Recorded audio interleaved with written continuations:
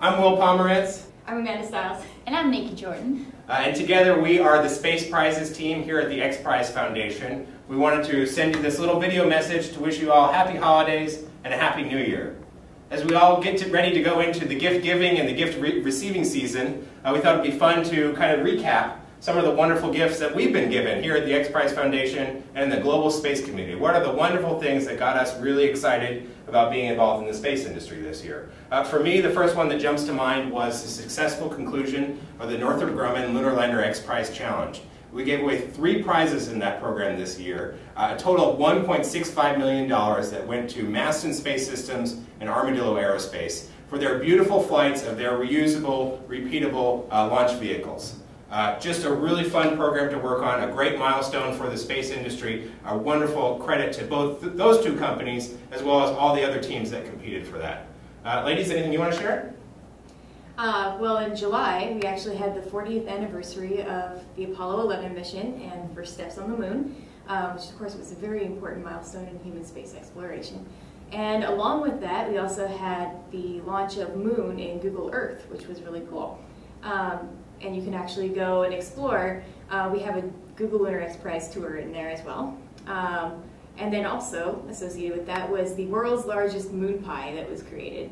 Um, I don't know if they ate it or not. We certainly hope not. Yeah, we can, all, we can all hope for their sake. Yes. That, that tour Amanda mentioned, you can go to our website, www.googlelunarxprize.org and download that. Uh, the software, Google Earth itself, is free software. It's a fun way to explore what our moon looks like and also get to know the Google Lunar X Prize teams along the way. Uh, Nikki? So um, when it comes to our team, we unfortunately lost Mike Fabia, who I'm sure most of our followers were familiar with. Um, so we wish him good luck. But on the good side, we have acquired a brand new team member. Her name is Amanda Stiles. She's amazing. She'll be our online community manager, and uh, you're definitely going to hear a lot from her in the next upcoming year. So welcome. Thanks, guys. And I got the gift of Will and Nikki and Roby. Hey, Roby is mine. All right. Uh, it was an exciting year for both uh, civil and government space. Uh, on the government space side, here in the United States, we got a new NASA administrator, uh, Charlie Bolden, uh, a fresh face in the uh, ninth floor office there at NASA headquarters. We're excited to get a chance to know him a little better and to work with him. there was also a, a, blue ribbon panel commissioned by the White House, the Augustine Committee as it's commonly referred to, that was tasked with analyzing everything NASA is going to do in the future in terms of human spaceflight. they delivered their analysis a few months ago. And actually, as we're filming this right now, President Obama is in with Administrator Bolden uh, trying to chart out the future of NASA. So we look forward to hearing the results from that. And in other, uh, other government news, um, there was the launch of LRO and LCROSS, uh, and LCROSS, of course, delivered the exciting news that there's water on the moon, and there's a lot of it. So that was great news for our GLXP teams. It really built on the international findings that were achieved both by NASA uh, as well as India, finding some water distributed throughout the lunar regolith early in the year. And that in turn is, is part of this suite of, a, uh, of, of really exciting and amazing data that's come down from four government-funded lunar spacecraft that have operated in the last couple of years, uh, built and flown by the United States, India, China, and Japan.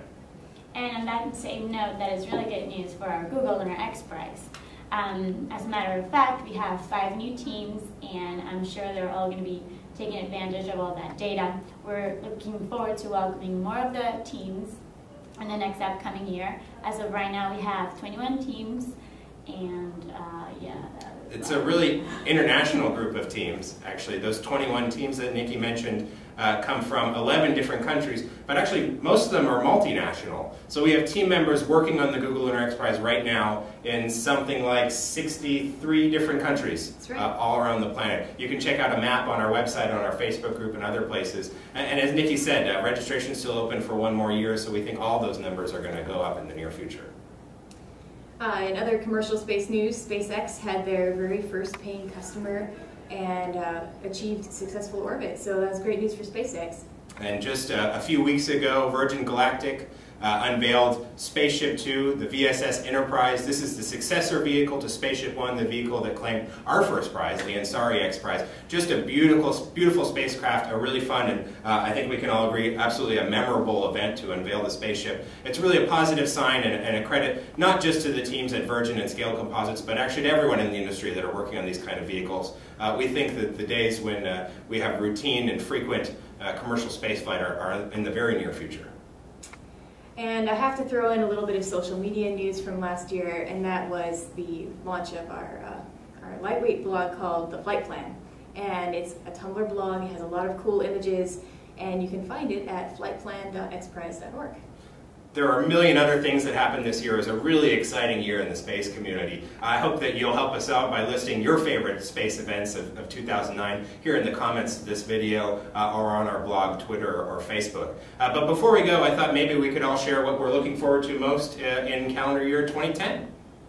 Well, uh, I'm going to have to say that as far as the Google X Prize goes, we are looking forward to recruiting plenty of new teams and um, checking out all the flights, test flights for the upcoming um, VSS Enterprise from Spaceship Two Virgin Galactic.